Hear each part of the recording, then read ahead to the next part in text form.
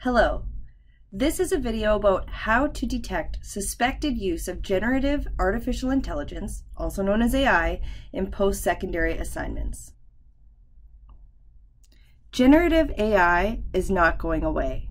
There are many companies that are creating products that are going to be capable of writing students' assignments using generative AI. OpenAI, which is famously known for its chat GPT, um, has just been offered $10 billion in investment by Microsoft. They are going to be coming out with a product called Ch uh, GPT-4 very soon.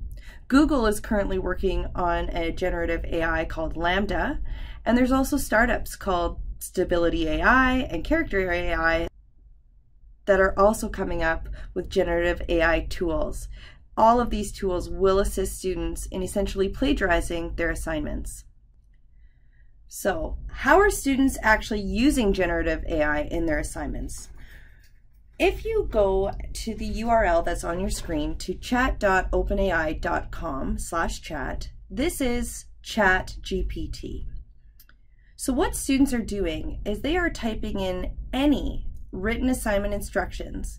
And from that, the generative AI tool will produce answers or statements um, for the student insofar as they do not need to write their own essays. They do not need to do their own research because the generative AI tool, while not perfect, will do it for them.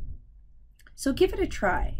Go to chat.openai.com slash chat, type in any written assignment instruction that you have, or you can also copy and paste any test question that you have, click submit, and watch the magic.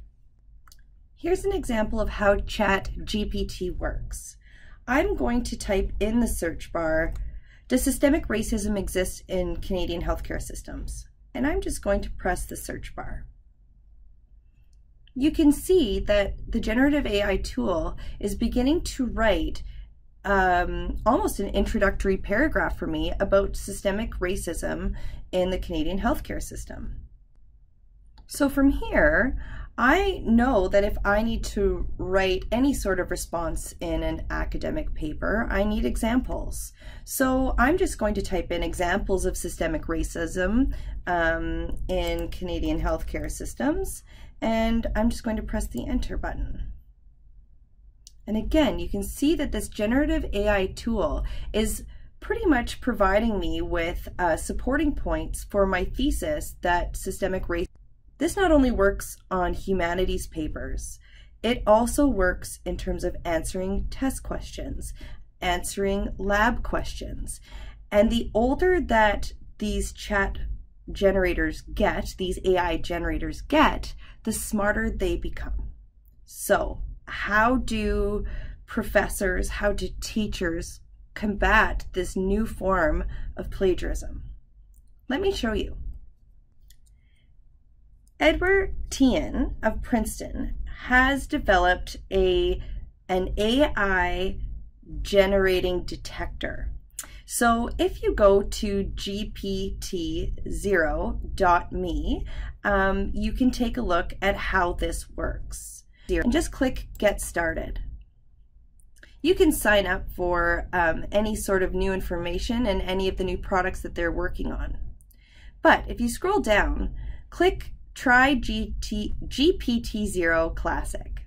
What you will do is you will copy and paste the suspected AI generated text into this gray box. Once you have pasted the generated text into the text box here and press Control Enter, you can scroll down and get your AI score below. And again, it is going to tell you exactly what the detector looked at in terms of variables and parameters um, to indicate whether or not what you are looking at is likely AI generated. So coming down to the bottom, you click Get GPT and your result will identify whether or not your text is likely generated by AI. So here, as you can see, it says your text is most likely to be AI generated. Is this a perfect solution to detecting generated artificial intelligence? No, but it is a good first step to attempt to identify if the text you have received, if it has been generated using artificial intelligence.